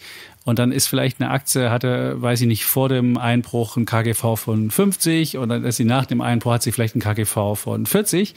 Aber selbst das KGV von 40 ist dann, weil es mit einer höheren Volatilität einhergeht, dann als riesig, also ein riskanteres Ding als damals mit niedrigerer Volatilität mit KGV 50. Und so kann es eben auch nochmal passieren, dass diese ganzen Portfolio, ähm, Geschichten, dass da noch was abverkauft werden muss, weil einfach äh, die Risikobudgets nicht mehr da sind. Und das muss man, mhm. diese, diese Risiken muss man immer noch sehen. Dann, dann, dann nützt es nichts, wenn jetzt, wenn man sagt, aber die Märkte sind noch viel günstiger. Wenn das halt mit einer, ja. mit einer Volatilität einhergeht, ist es halt nicht mehr günstig. Aber man muss immer, das sind immer zwei Sachen. Einmal die Bewertung, einmal die Volatilität, das Risiko. Und das spielt zusammen. Und so kann es eben noch kommen. Und deswegen glaube ich auch, dass dieser, diese, diese Sommerausverkaufsgeschichte noch nicht noch nicht ganz ausgespuckt genau. ist. Das, Weil ich glaube schon ja. noch, dass da noch mehr abgebaut werden muss. Und was mir auch noch aufgefallen ist, wenn man sich mal anguckt, die ETFs in Amerika, da gibt's ja gehebelte ETFs und wenn man da mal schaut, was ist auf Long und was geht auf Short, also inverse ETFs, sieht man immer noch, dass äh, die, die, die Bullen da noch das Ober, die Oberhand haben und immer noch mehr gehebelte Long ETFs äh, über den Tresen gehen. Und auch das ist für mich doch kein Risiko, dass da Kapitulation eingetreten ist. Und ähm, da könnte ich mir auch vorstellen, dass da noch ein paar ähm, ja, ein bisschen Ausverkauf äh, passieren könnte. Und insofern äh, ist das, die Sachen muss man immer noch mit im Hinterkopf haben, wenn man sich mal die ganze Marktlage anguckt, dass es da immer noch große institutionelle Anleger gibt, die nach anderen Metriken den Markt sich angucken und die anders handeln müssen als unser eins, der dann vielleicht sagt, oh, KGV von 40 sieht schon schön aus. Wenn du aber das eben mit, mit höheren Risiken und Volatilität einhergeht, dann ist es halt auch nicht viel besser. Also das würde ich noch dazu hm. addieren zum, ähm, ja zum, zum, zur ganzen Gemengelage, weil wir einfach sehen, nach, ja. nach so langer, nach so langer niedriger Volatilität, und das kann man immer sehr schön angucken, sich entweder in Deutschland beim VDAX oder beim WIX, das ist der, der für den S&P 500, sieht man halt, wie niedrig das, äh, und dann, dann sind die Leute halt so eingeschläfert und, und können Klar. immer höhere Risiken eingehen und machen das dann auch, mhm. bis dann halt irgendwann die Vola hochgeht und man dann gezwungen ist, irgendwie Positionen auch deswegen mit klarzustellen, weil die Risikobudgets nicht mehr stimmen. Ja, darauf hat ja der Gast letzte Woche ja auch hingewiesen, dass auch gerade die Blauäugigkeit gerade unter großen Investoren da groß ist, dass die mhm. sehr wenig abgesichert sind und so weiter. Und ähm, man kann es wirklich, glaube ich, gut vergleichen mit einem ähm, schön langen Sommer und man hat irgendwie ja. gar nicht mehr im Blick. Nein, das, das ist nicht so ein Regensommer wie dieses Jahr, wo es jeden, jeden Tag regnet oder jeden zweiten, sondern so richtige schön Wetterphase. Man richtet sich überhaupt nicht mehr drauf ein, hat nirgends mehr einen Regenschirm und lässt nachts die Fenster offen und so weiter und plötzlich kommt ein wirklich so heftiges Gewitter, ja, äh, und äh, was sich richtig was zusammengebraut hat. Und dieses Gewitter haben wir jetzt erlebt. Ne? Und äh, dann ist natürlich erstmal vieles bereinigt, ja, mhm. weil auch vieles ausverkauft wurde, viele ausgestoppt wurden und auch ähm, die Stimmung ähm, natürlich auch wieder abgekühlt ist. Sieht man sehr schön am Fear and Greed Index, der ist jetzt auch auf einen Schlag wieder in extreme Angst, Extreme 4 äh, gefallen, 16 Punkte nur noch äh, auf das Skala von 0 bis 100. Äh, bei 100 ist ja Extreme Greed und ähm, war ja lange, jetzt zuletzt war er noch neutral, aber er war ja lange in diesem überhitzten Bereich äh, mit Gier und extremer Gier teilweise unterwegs. Und ähm, da ist auf jeden Fall schon mal eine Abkühlung, Ernüchterung eingetreten. Ja, das ist schon mal gut, mhm. weil äh, Warren Buffett sagt ja immer, kaufe, wenn die anderen ängstlich werden, ja, oder so ähnlich, ne, und werde ängstlich, wenn die anderen gierig werden. Ähm, und äh, das ist natürlich dieses eingetreten, also diese Stimmung sowohl bei privaten wie institutionellen, die war schon sehr, sehr gut und vor allem Leuten, die natürlich dann im, im Big Tech-Sektor äh, unterwegs waren. Und jetzt fragt ihr euch natürlich, das ist natürlich immer die Frage von solchen Krisen, was sind so die Lehren, die man, die man aus so einer Sache ziehen kann? Also eine Lehre, die man auf jeden Fall immer ziehen kann, ist, solche Ausverkäufe, Krisen oder wie auch immer, wie lange sie auch immer anhalten mögen, wir wissen es ja noch nicht, wie lange das jetzt anhält, die kommen meistens ruckartig und brutal über die Welt. Und wenn man mit seinem Portfolio nicht gut aufgestellt ist, dann kann man, wenn man in der Krise ist, in der Regel nicht mehr ordentlich reagieren. Also dann hat man halt, äh, dann, dann muss man eher die Lehre ziehen und muss sagen, okay, hm, war nicht, war nicht gut äh, diversifiziert. Und deswegen ist äh, Regel Nummer eins ist einfach, wer wirklich diversifiziert anlegt, so wie wir das immer predigen. Also wer seine Basisinvestment hat Und wer das immer stur gemacht hat und wer jetzt auch in den letzten Wochen vielleicht mal ein paar Gewinne mitgenommen hat, so haben wir ja auch, weiß, weiß nicht, bei Nvidia habe ich ja damals gesagt, als es das wertvollste Unternehmen der Welt war, da habe ich mal ein Drittel der Positionen verkauft. Und bei anderen Tech-Werten habe ich auch mal ein bisschen was weggenommen. Du hast ja auch die Regel gehabt, die mal, dass man, wenn was sich verdoppelt hat, mal was mitnimmt, da hat man ja auch ein bisschen Cash da. Und wenn man das hat und diese Krise reingeht, dann kann man da ganz anders auf eine Krise gucken, als wenn man irgendwie feststellt, dass die Krise einem komplett das Portfolio zerbröselt und man auch überhaupt keinen Handlungsspielraum mehr hat. Klar, bei jedem im Portfolio wird natürlich der Portfoliowert gesunken sein, aber das ist halt normale normale Börse, dass halt auch mal was, äh, dass auch mal was fällt und dass man auch mal weniger Wert dann da hat, wenn man in sein Portfolio reinkommt. Aber wenn man diversifiziert reingegangen ist und mit einer kleinen Cashquote, dann ist man handlungsfähig und das ist einfach die, die Grundidee und die sollte man immer haben.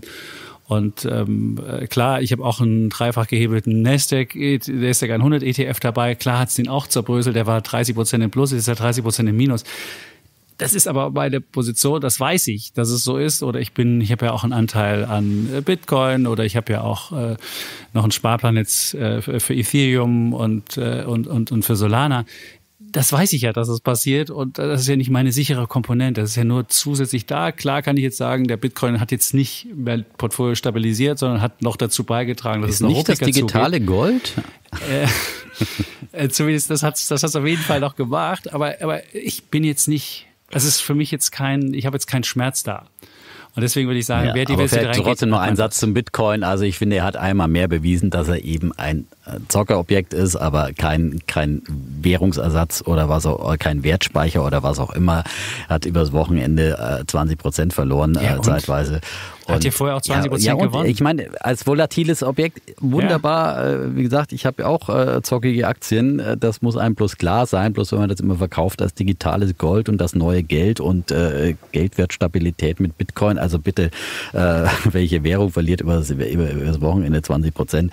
Äh, das ist, ist nicht, ja. Es ist ein, ein eine Zockerwährung und ähm, damit kann man wunderbar spekulieren, auch mal schnelle Gewinne machen, aber auch schnelle Verluste. Das muss einfach klar sein. Ich bin ja, gut, jetzt hast du gesehen, der, der Trump hat ja gesagt, er will ja sogar den, er will ja sogar Devisenreserven in, in Bitcoin aufbauen. Also siehst, äh, die, der will das ja anders machen als die Sachsen, ja, ja. die ihren Schatz verkauft haben. Pro-Bitcoin-Präsident werden, ja, ja, so, genau. Also, wie auch Aber immer. er will ist, wenigstens erstmal, erstmal nichts dazu kaufen, er will nichts verkaufen, was er so. Genau. Ne? Anders als die Sachsen das gemacht haben. Jetzt im, im Nachhinein, jetzt genau. muss ich sagen, bei 50.000 waren die Sachsen doch clever, bei 70.000 waren sie nicht clever. Also, das ist immer die clever, das zeigt sich dann immer erst äh, im Nein, Nachhinein aber, und äh, ja, aber das ist wenn du es behältst, ist es Spekulation. So, so ist es. und ja. wenn du es einfach verkaufst äh, über verschiedene Tranchen, wie du einen Sparplan ansparst, ist es dann ein Verkaufsplan und du sagst einfach vorher festgelegt, wir verkaufen mhm. jeden Tag, egal wie der Kurs ist. Wer soll das denn entscheiden, äh, zu welchem Kurs äh, in Bitcoin gut. irgendwie gut oder schlecht bewertet ist? Ja, da gibt es keine faire Bewertung. Apropos Trump, äh, gerade die Eilmeldungen kommen, mhm. wollen wir auch noch mit reinnehmen. Kamala Harris äh, hat nach Medienberichten Tim Walz als ihren Vizekandidaten äh, für den US-Präsidentschaftswahl Ich hätte jetzt Joe Shapiro genommen, das ist, hätte ich ja lieber genommen. Gouverneur als, von Minnesota. Ja. Ähm, ja. Tim Walz sagt mir jetzt auch wenig, ehrlich gesagt. Ist aber, der, ist Minnesota, ähm, ist es, es müsste dann ein, aber ein, ein, State sein, wo gebettelt wird um die, ich weiß nicht, wie viele, wir müssen jetzt mal gucken, wie viele Wahlmänner äh, da zu holen sind, ja. um da mal festzustellen. Nein, ich meine, wir müssen jetzt nicht vertiefen, aber ist. wir haben es jetzt mit drin, ne? Aber ja. es, es, wird dann natürlich noch von politischen Analysten dann ausführlich bewertet. Das ist ja nicht unsere, unsere Aufgabe hier, aber wir haben es einfach mit drin, weil das natürlich auch eines der marktbewegenden Ereignisse in diesem Jahr auf jeden Fall ist. Und sie liegt bei, sie liegt bei Predicted, Und für Bitcoin auf jeden liegt Fall. Liegt sie noch ne? leicht im Plus. Äh, die äh, Harris, also mhm. die Quoten für Harris liegen leicht vor denen vor Trump. Jetzt seitdem die Meldung mit, mit Tim Walz raus ist, hat sich das wieder ein bisschen verschoben, sind sie fast Kopf an Kopf. Aber ähm, auf jeden Fall hat sie auf jeden Fall am Anfang mal einen gewissen Schub bekommen. Mhm. Ja, und ja. Ähm, ja. Aber zurück zu den Lehren nochmal. Ähm, Genau, wie du sagst, alles, was Basisportfolio ist, was langfristig ist, ist wirklich dafür da, dass man es eben langfristig auch dann mhm. nicht anfasst. Also gerade die ETF-Sparpläne, die ETF-Investments. Ähm, und äh, da darf man auf keinen Fall nervös werden und sagen, oh Gott, ich muss jetzt verkaufen an diesem Montag, weil irgendwie hier alles äh, dynamisch fällt. Ähm, und das sollte man auf keinen Fall tun, weil äh, gerade an diesem Montag äh, konnte es dann natürlich dann passieren, dass man im Tief verkauft hat. Der DAX war ja auch im Tief bei 3,6 Prozent, hat dann schon wieder plus nur noch 1,8 Prozent im Minus geschlossen. Mhm. Ja. Und wenn man einen schlechten Zeitpunkt erwischt, dann äh, verkauft man im Tief und kommt nicht mehr wieder rein. Also zum einen, da kann ich jetzt mal ein bisschen traden mit einem Basisportfolio, das sollte man vermeiden. Wer Trader ist oder ein bisschen ein kleines Trading-Portfolio hat, ein bisschen Spielgeld zum Spielen, der sollte sowieso ganz anders aktiver sein. Der sollte mit Stop-Loss, das haben wir gerade auch letzte Woche, kann man sich nochmal anhören bei Reza Darius mhm. Montasee und seine äh, Trading-Erfahrung, der wirklich ja das professionell macht seit fünf Jahren, ähm, wie man da dann wirklich äh, auch ganz nah am Markt sein muss und mit ganz engen Stops arbeiten ja, aber muss. Da bist du, sich, das hat dich äh, zerrissen. Also wenn du jetzt Trader gewesen bist, du machst jeden Tag so, weiß ich nicht, mach jeden Tag einen Huni-Gewinn und dann kommt so ein Tag und du bist an dem Tag falsch positioniert. Hast du an dem ja, Tag klar. ein Tausi verloren, hast, hast du zehn ne? Tage weg oder ja. zehn Tage Gewinn ja, weg. Also das ist wirklich, also ich genau, will, ich will kein, kein Trader sein, der sein, sein, sein Geld alleine mit, mit, äh, Nein, mit das ist, das Anlage ist wirklich, verdient. Das, das ist, ja, genau. Und deswegen sagt man ja immer, langfristig verdienen die Trader kein Geld und ähm, irgendwann verdienen sie dann immer. Und, äh, vor allem, wenn sie, wenn sie ihr Risikomanagement nicht im Griff haben und was ja dann immer wirklich sehr, sehr gefährlich ist, weil man da einfach doch immer gieriger wird und seine eigentlichen Regeln, also muss man wirklich sehr, sehr konsequent sein und äh, sich ganz äh, konsequent an seine Regeln halten. Das nur, äh, wir sind ja kein Trading-Podcast, deswegen nur das am Rande. Ähm, und wie gesagt, alle anderen, wenn ich auch, können dem gelassen zusehen und wenn sie noch ein bisschen Cash auf der Hand haben, dann ähm, kann man ja in den Tagen mal ein bisschen gucken, äh, da zu investieren, muss auch nicht alles auf einmal, sondern da lieber eben, oder wenn man jetzt sagt, ich habe jetzt eigentlich eine größere Summe, soll ich jetzt schon reingehen, da gilt dann wieder so eine Regel, mach es mit einem Sparplan über ein paar Monate oder mhm. mindestens gedrittelt, würde ich sagen. Und ich finde schon, dass man mit einem Drittel jetzt schon reingehen kann ähm, und gestern zum Beispiel ähm, und, und dann einfach nochmal abwartet, ähm, wie es weitergeht und wenn es weitere Turbulenzen gibt, dann nimmt man das nächste Drittel und im anderen Drittel würde ich dann auf jeden Fall bis nach den US-Wahlen warten, weil das ist, äh, wird auf jeden Fall nochmal für Volatilität sorgen, äh, egal wie die Entscheidung ausfällt. Und ja, das glaube ich ist auch eine, eine weitere wichtige Lehre, aber äh, Ruhe bewahren und nicht in Panik. Gier und Panik sind die schlechtesten Ratgeber an der Börse. Man kann es immer wieder nur sagen. Und das gilt für Gier, wenn es nach oben geht, das berühmte FOMO und es gilt für die Panik, wenn es nach unten geht. Ähm, und wenn man es nicht ertragen kann, dann einfach nicht ins Depot schauen. Das hilft dann auch. Ja, lieber im Urlaub raus aufs Meer schauen. Ja. Genau, das ist ja meine Oder, Strategie gewesen, wenn man nicht im Urlaub zu schauen. Ist, hin, und ja. die zweite Frage, die man sich stellen muss, und dann, äh, wenn man jetzt überlegt, ist es jetzt eine Blase, die geplatzt ist, oder ist es eine Korrektur, die stattfindet. Und dann ist es das Schöne immer, dass man Erfahrung, wenn man, wenn man halt schon verschiedene Crashes erlebt hat und sich halt fragt, ist jetzt einfach ein Kartenhaus zusammengefallen, wo Leute nur mit, mit Hoffnung gedealt haben oder ist da wirklich was Substanzielles mit drunter? Und wenn, wenn man sich, wenn man auf einen Trend setzt, und ich bin ja einer, der auf KI setzt, das ist natürlich immer nach einem Hype-Cycle am Anfang wird immer die Hoffnungen sind überspitzt und die, die, äh, das, da, da ist am Anfang immer mehr zu viel Hoffnung drin, aber langfristig unterschätzt man solche Zyklen meistens, bei ganz vielen so Trends so. Und wenn ich sage, mein Trend, auf den ich gesetzt habe, der ist weiter intakt und die Kurse fallen, dann kann es ja sogar eine Chance sein, ähm, dann auf der einen oder anderen Seite mal was äh, rauszusuchen, wie beispielsweise, wie ich jetzt bei ARM gemacht habe, weil ich das einfach ein spannendes Unternehmen finde, der in einer spannenden äh, Branche äh, tätig ist. Und ich finde, da gibt's, das ist, das ist eine, die hat Substanz.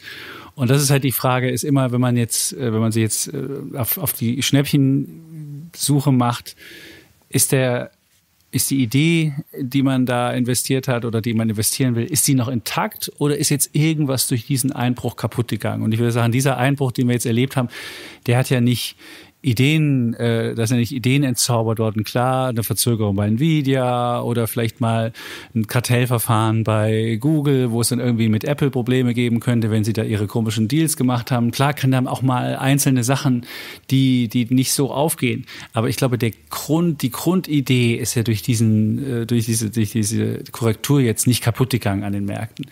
Und deswegen würde ich sagen, bin ich jetzt auch nicht ein Anhänger davon zu sagen, es ist jetzt eine, eine Blase, die platzt, die, wo wir jetzt irgendwie wie Jahr 2000 noch drei Jahre lang irgendwie nach unten gehen oder auch wird auch nicht denken, dass es wie 2021 ist, wo einfach zu viele unprofitable Geschichten nach oben gespült worden mhm. sind, die dann, äh, wo sich dann vieles in Luft aufgelöst hat. Also ich würde schon sagen, es ist eher jetzt eine Korrektur von überzogenen Erwartungen, eine Korrektur von überzogenen Bewertungen. Und die wird jetzt abgebaut. Und ich könnte mir vorstellen, da geht bestimmt noch auf der einen oder anderen Stelle noch was runter und ich würde auch noch nicht denken, dass diese, diese Sommerkorrektur oder Sommergewitter, was wir jetzt haben, dass es jetzt vorbei ist. Ich würde wahrscheinlich bis September oder so warten oder keine Ahnung, ich, es ist immer schwierig, sowas zu timen. Aber ich würde immer denken, das wird noch ein bisschen an, andauern und würde halt jetzt mir überlegen, welche Aktien wollte ich schon immer mal haben, so wie das bei ARM der Fall ist. Und dann guckt man und denkt sich so, what, so günstig? Und so würde ich dann halt auch äh, mich auf die Lauer nach, äh, nach, äh, nach äh, Sachen machen. Würde ich jetzt schon einen, einen gehebelten NASDAQ 100 ETF wieder investieren? Nee, würde ich wahrscheinlich nicht machen. Da würde ich noch ein bisschen abwarten. Den Gesamtmarkt würde ich denken, da geht noch ein bisschen mehr ausschütteln.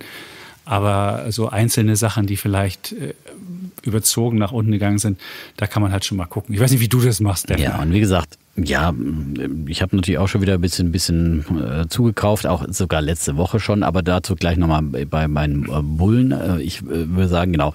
Ähm, aber das muss jeder für sich selber entscheiden, solange man einfach so ein bisschen konsequent sein Basisdepot mhm. Äh, nicht anrührt und dann ein bisschen mit, mit Cash und so weiter.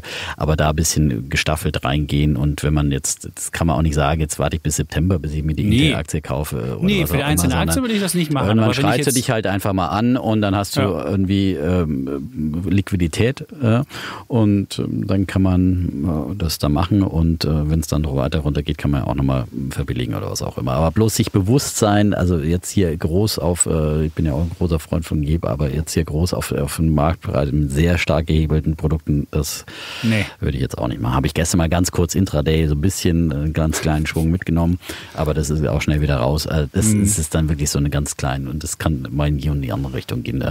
Und, und ähm, und wenn man das macht, gesagt, muss man also denken, da, das Geld da muss man auch ver verknusen können. Also das muss man dann komplett abschreiben können. Genau. Und auch wenn man genau. jetzt, wenn man sich so jetzt verbilligt, ja. nur das Geld einsetzen, was ihr wirklich nicht braucht. Also wenn ihr jetzt Geld einsetzt, wo ihr denkt so, oh, ich habe jetzt eigentlich eine Cash-Komponente, die wollte ich zwar, muss ich zwar immer mir so als Sicherheitspolster machen, aber jetzt nehme ich mal die Chance und mach das mal.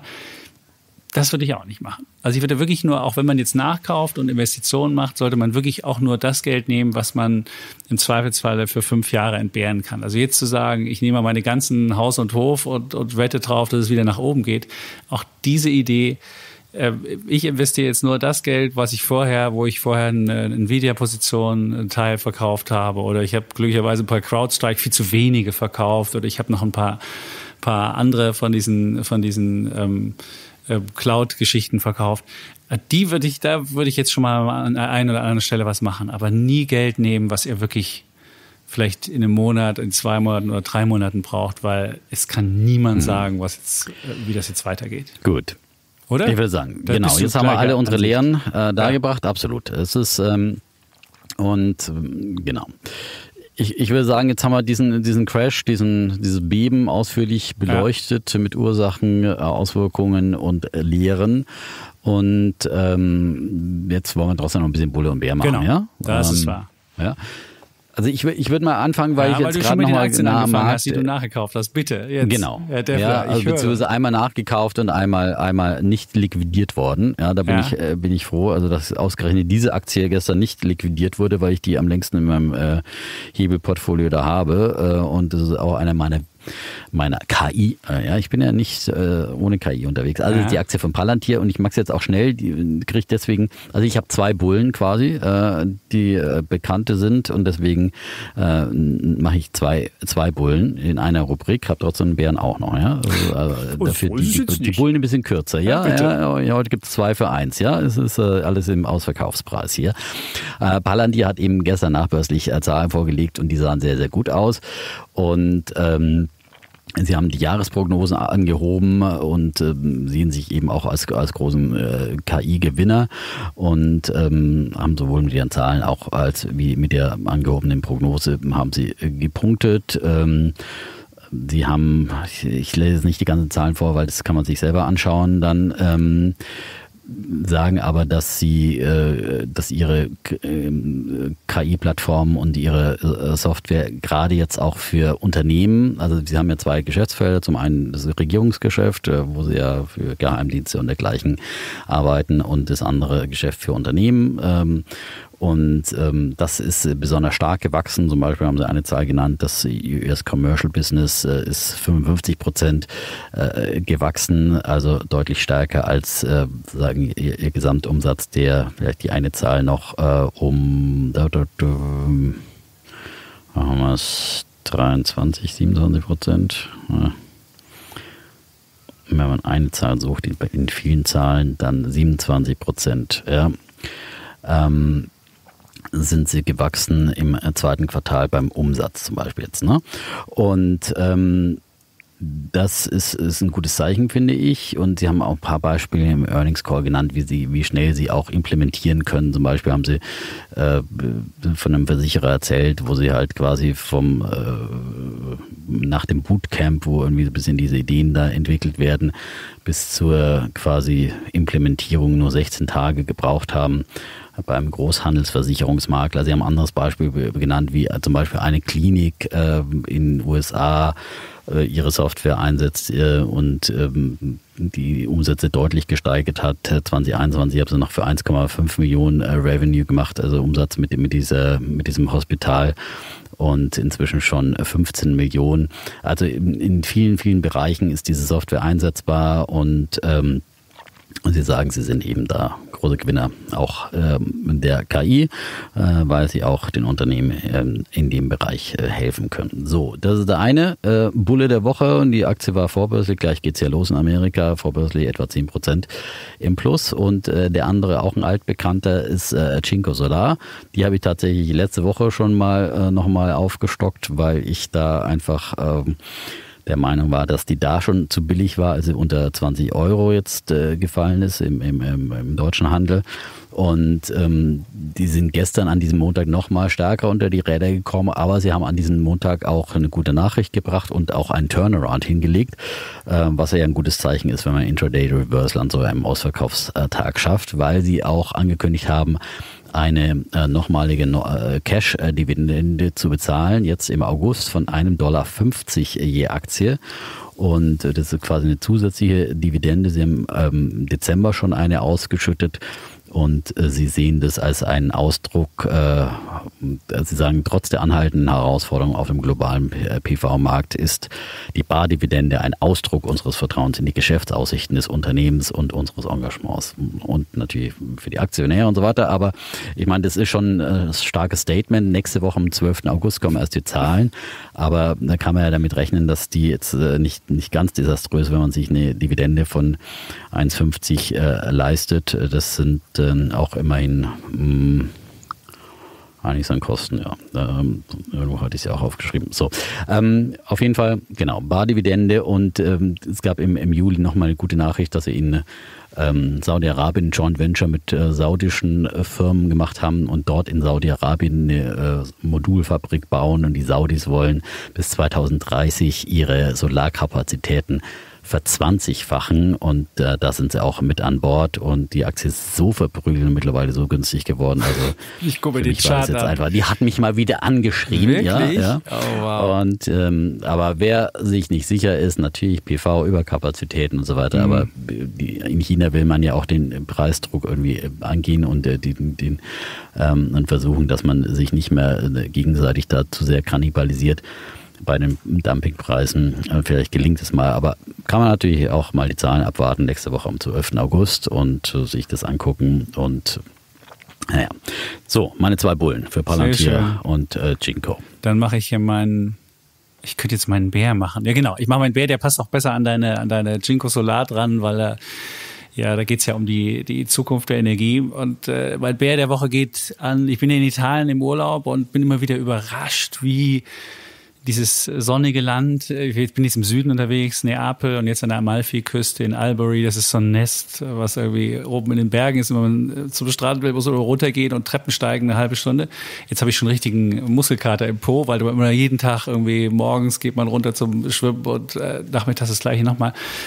Ähm, Aber, aber wie wenig Solar es gibt. Ich habe in Neapel nicht eine einzige Solarzelle gesehen auf dieser ganzen drei Millionen äh, Einwohnerstadt, sondern es gab nur, äh, es gab auch kein einziges Elektroauto. Und das Einzige, was ich hier gesehen habe, jetzt in Albury, ich habe ein äh, hybrides Auto gesehen und eine Ladestation. Es gab keine Ladestation, es gab kein keine Solarzelle, nichts. Und jetzt habe ich mal geguckt, das ist natürlich ein Phänomen des Südens, klar, äh, wobei ich war in Sizilien, da war schon, da gab es schon ein paar Solarzellen und da gab es schon, da war man schon auch was, was Elektromobilität anbetraf, größer. Aber wie stark hier noch die, die, die diese fossilen Sachen sind. Überall fahren diese Motorräder lang und es stinkt in, in Neapel. Ich liebe Neapel, das ist eine tolle Stadt, äh, weil sie einfach so wuselig ist und so. Aber sie stinkt, sie ist dreckig, sie ist, äh, sie ist, sie spaltet natürlich die Leute, weil äh, entweder man liebt sie oder man hasst sie. Ich liebe sie, weil das einfach, weil das einfach mein, meine Art von Lebensgefühl ist. Aber wenn man jetzt noch die Autos und die Motorräder entweder elektrifizieren würde oder ganz aus den Gassen rausbekäme, wäre das noch viel schöner. Und äh, wenn ich mal gucke, Stromerzeugung Italien aus Solarenergie 2023 gerade mal 10 Prozent. Selbst Deutschland, wo wir viel weniger Sonne haben als die Italiener, haben wir, haben wir einen höheren Anteil, nämlich 12 Prozent. Wenn man guckt, wie viel äh, Photovoltaikleistung installiert ist, da ist Italien noch weit hinter Spanien, Brasilien äh, mit 30,3 Gigawatt installierter Leistung wir in Deutschland Deutschland haben ähm, 81,6, also ungefähr nicht ganz dreimal so viel ähm, Photovoltaikleistung, ähm, obwohl wir viel weniger ähm, Sonne haben. Ich äh, mag es wirklich nicht verstehen, warum das so ist. Und vielleicht brauchen die Italiener, nachdem sie ja dieses wunderbare ähm, Superbonusprogramm gemacht haben, wo jeder, der seine Hütte ähm, modernisiert hat, ähm, ein Vielfaches an Steuervergünstigung bekommen hat, hat zwar die Schulden des Landes nach oben gebracht und so weiter, aber vielleicht braucht man sowas ja auch mal für Photovoltaik und äh, dann könnte hier auch mal was losgehen oder für Elektroautos. Aber das ist wirklich noch faszinierend, wie wenig ähm, die zumindest hier in Süditalien mhm. auf, auf Umwelt achten, auf, auf, auf, auf, auf Abgase achten, auf Elektrifizierung achten. Und deswegen ist das mein, mein Bär der Woche ist einfach das fossile Zeitalter, was hier immer noch voll rumschlägt. Und jetzt kann man natürlich sagen, es ist ein armes Land. Und wenn man nach Afrika geht, ist es wahrscheinlich noch viel schlimmer, obwohl die noch viel mehr Sonne haben. Aber das ist für mich kein Argument. Ja. Da, müsste, da müsste mehr gehen. So. Genau. Äh, also angekommen äh, zu einem Bereich, wo Italien eigentlich äh, vor Deutschland ist ähm, und was mir immer wieder, ich hatte, ich weiß nämlich, weil ich letztes Jahr auch zum Bär der Woche, als ich aus dem Italienurlaub ja. kam, und, aber man muss es immer wieder wiederholen, weil es einfach sich auch nichts verändert. Ähm, ja. Cash Only ist mein Bär der Woche und auch dankenswerterweise hat sich der Bitkom-Verband der Sache jetzt angenommen. Ähm, ich habe es aber letzte Woche erst wieder erledigt. Wir hatten einen Hochzeitstag und waren schön essen. Da wusste ich, okay, in dem Restaurant kannst du mit Karte bezahlen, hat also kein Cash einstecken. Und dann haben wir gesagt, ach, spontan ist so schön draußen, wollen wir uns noch irgendwo raussetzen und irgendwie an der Bar noch einen Absacker trinken. So. Dann haben wir wirklich vier Bars abgeklappert, da im Prenzlauer Berg in, in der Nachbarschaft. Und bei keiner einzigen konnte man mit Karte bezahlen. Alle nur Cash only, ja. Und es, es erzählt mir auch keiner, dass das immer nur wegen der Kartengebühren ist. Also ich glaube, das sind wirklich Steuerumgehungstricks, die da zum großen Teil der Grund dafür sind, äh, dass man nur Bargeld akzeptiert. So, äh, das ist das eine. Und das andere ist einfach wirklich äh, ärgerlich für den Kunden. Und ähm, Bitcoin hat jetzt eben auch ein Positionspapier dazu geschrieben. Und die haben auch nochmal den Aufhänger genommen, ähm, Europameisterschaft, wo wirklich wirklich in, in vielen sozialen Netzwerken über die Deutschen äh, gelacht und gelästert wurde, weil man hier eben in den Kneipen und nirgends mit, mit äh, Karte bezahlen konnte und äh, sich die Leute aus England, Italien, Belgien, sogar aus äh, Rumänien eben darüber ausgelassen haben, wie rückständig die Deutschen sind. Und ich finde, es kann einfach nicht sein, Bitkom fordert auf jeden Fall nach eine echte Wahlfreiheit beim Bezahlen, fordert eine flächendeckende Akzeptanz mindestens eines digitalen, äh, einer digitalen Bezahlmethode. Müssen ja nicht alle Karten sein, alles aber einmal digital bezahlen, wenn es nur die IC-Karte ist, finde ich, es ist absolut zwingend. Äh, unterstreiche absolut den Bitcoin und äh, die sagen auch überall, äh, überall also muss äh, digital bezahlt werden können, im Handel, in der Gastronomie, im Nahverkehr oder auch in Behörden. Äh, und es soll auch keine Mindestbeträge beim digitalen Bezahlen geben, also dass man auch unter 10 Euro mal im Späti was kaufen kann. Und ähm, Sie fordern dann auch eben, zum einen soll es dafür äh, Vorschriften geben, aber auch gezielte Entlastungen von Händlern und Gewerbetreibenden, etwa durch Steueranreize ähm, für diese digitalen Zahlungsangebote. Und sie haben auch eine Umfrage gemacht. Zwei Drittel der Bevölkerung, 66 Prozent, äh, sprechen sich für eine gesetzliche Pflicht aus, dass äh, überall neben Bargeld auch eine digitale Zahlungsmethode akzeptiert werden muss. Bargeld ist ja sowieso vorgeschrieben. Das ist ja auch so äh, krass. Äh, ähm, aber ähm, dass du auch eben mit digital bezahlen kannst, das wäre das wäre einfach, äh, finde ich, ganz wichtig. Und ähm, ja, ähm, Sie sagen, das ist auch ein, ein äh, Katalysator für die notwendige Digitalisierung Deutschlands. Ähm, und ähm, sagen auch, dass es ja auch eine bessere Kundenbindung dann ist, weil äh, 19 Prozent der Verbraucherinnen und Verbraucher äh, Orte, an denen sie nicht digital bezahlen können, meiden. Äh, gut, manche haben es offenbar nicht nötig, so schlimm scheint es der Gastronomie nicht zu gehen, dass man das nicht nötig hat. Äh, deswegen, da muss man halt dann einfach sagen, gezwungen werden, finde ich. Und auch der Bitkom erwähnt, dass es äh, gesamtgesellschaftlich für digitales Bezahlen zugleich zu mehr Steuergerechtigkeit, der Schattenwirtschaft und Steuervermeidung erschwert werden. Und schließlich positiven Klimaeffekt gibt es auch noch, da Bargeldzahlungen durchschnittlich um den Faktor 5,9 höhere CO2-Emissionen verursachen verursachen. Deswegen mein Bär der Woche erneut für Cash Only. Sehr schön. Dann komme ich zu meinem Bullen der Woche. Und mein Bulle der Woche ist ähm, auch mit Italien. Ihr kennt ja, ich bin ja der große Nutella-Fan und ich schaue mir immer an, wie die Nutella-Preise in, in, Deutschland und Italien ähm, differieren voneinander. Und ich muss sagen, in, in Italien ist es Nutella oder die Nutella oder wie man es auch mal nennen mag, nur noch 11,4 Prozent teurer als in Deutschland. Und äh, der Bulle geht jetzt dafür, dass man sehen kann, dass der Euro doch dazu führt, dass es eine gewisse preisliche Anpassung gibt. Das ist natürlich insofern für uns Deutsche negativ, weil es natürlich frustrierend ist zu sehen, dass jetzt die Supermarktpreise sich langsam anpassen und wir in Deutschland jetzt höhere Preise haben, beziehungsweise Nutella ist seit 2017 in Deutschland um 29 Prozent gestiegen, der Nutella-Preis und in Italien nur 11 Prozent. Und dann hat man halt automatisch eine Anpassung. Das ist bei ganz vielen anderen Lebensmitteln auch so in, in, in, in, Italien. Und wenn man sich insgesamt die Inflationsraten anguckt von Italien seit, ähm, würde ich mal sagen, seit der Eurokrise 2012, da hat Italien, ist die Inflation, also die Geldentwertung nur um 22 Prozent gestiegen und in Deutschland um 32 Prozent, also 10 Prozentpunkte mehr. Und das zeigt halt, wenn halt innerhalb einer Währungsgemeinschaft eine, ähm, eine, eine, eine Volkswirtschaft, die halt überwertet war, wie Italien, jetzt eben die Preise langsamer steigen als in der anderen, dann, dann wird das ganze Gebilde äh, ein, ein stabileres.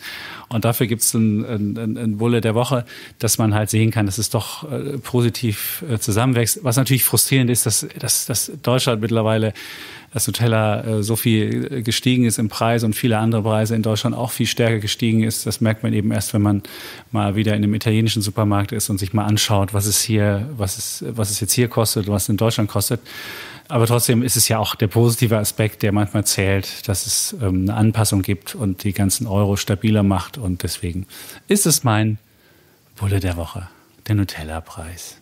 Und interessant zu sehen, dass der, der Nutella war auch 30 Prozent mal überbewertet. Also war 30 Prozent teurer in Italien. Mhm. Man sieht halt wirklich, wie sich das, wie, äh, wie man an so einer einfachen Sache wie dem, wie einer Schokocreme eine ganze ganze Theorie ökonomisch, also äh, äh, Preis, äh, Purchasing Power, Parity äh, Dingens, also sehen kann, wie die Kaufkraftparitäten funktionieren, dass man an so einem einfachen Gutes sehen kann. Das finde ich immer das, das Schöne und das zeigt es mir auch sehr schön. Aber möglicherweise gibt es ja in Italien auch nochmal Unterschiede äh, zwischen dem armen Neapel und äh, den etwas wohlhaberen. Vielleicht ist das so. Äh, also ich, ich habe jetzt, ich hab also jetzt hier, kann ich mir schon auch vorstellen. Ne? Ich habe jetzt hier fünf Supermärkte inklusive Lidl habe ich gesehen und Lidl hatte nicht den mhm. günstigsten mhm. Nutella-Preis. Ich habe jetzt den Durchschnittspreis von, von, äh, von ähm, italienischen Supermärkten genommen und dann habe ich äh, sechs Stück genommen. In Deutschland Lohnt ist es ja so. sich Lidl nicht mehr? Fragezeichen. Ja, ja die müssen Frage. ja teure Fußballwerbung zahlen. Ne? Ja, genau. Da muss ja auch irgendwie wieder reingespielt werden. Ja.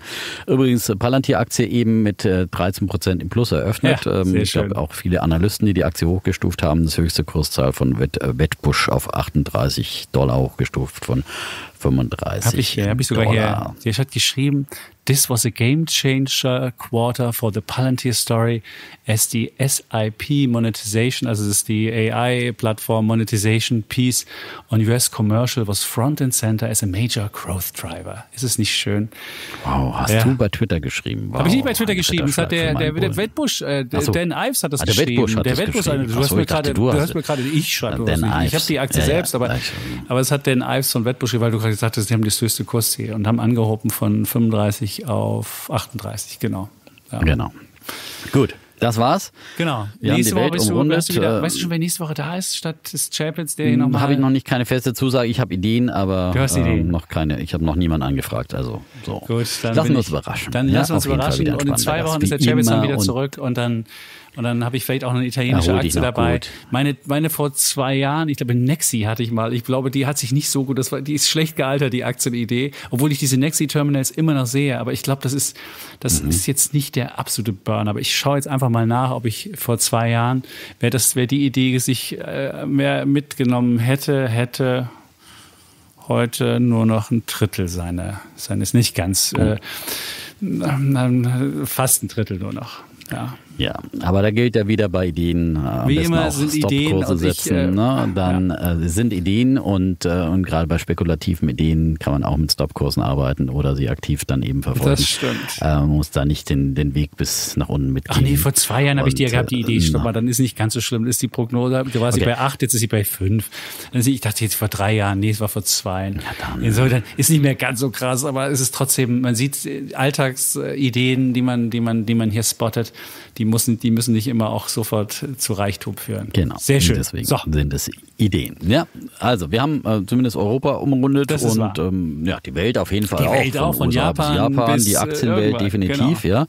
Vom Land der aufgehenden Sonne bis in den Westen Ja, sehr gut. Amerikas. Und dann können wir getrost Tschüss sagen. Und ciao. Wir bleiben Bulle, Und Bär. Defner. Und Chapitz.